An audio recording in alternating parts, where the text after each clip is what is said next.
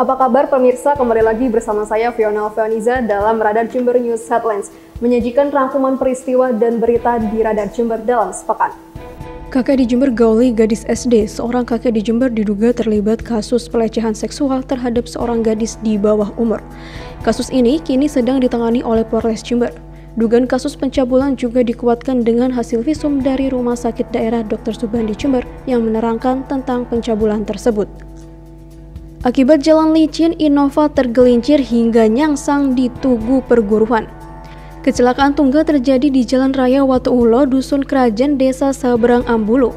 Sebuah mobil Toyota Kijang Innova dengan nomor polisi AG1483EF berwarna hitam tergelincir akibat jalan licin.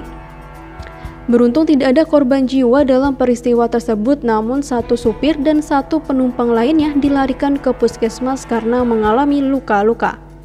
Kapolsek Ambulu AKP Sudaryanto mengatakan terjadinya kecelakaan tunggal tersebut dikarenakan hujan sehingga jalan menjadi licin.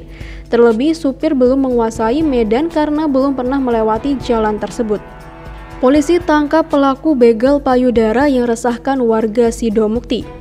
Penangkapan dilakukan setelah seorang korban melaporkan tindakan asusila yang dialaminya kepada Kepala Desa Sidomukti Sunardi Hadi. Sebagian warga pun juga mengaku telah mengalami hal serupa. Kemudian, anggota Reskrim Polsek Mayang dibantu dengan Resmob Jember melakukan pengintaian dan berhasil meringkus pelaku agar mempertanggungjawabkan perbuatannya.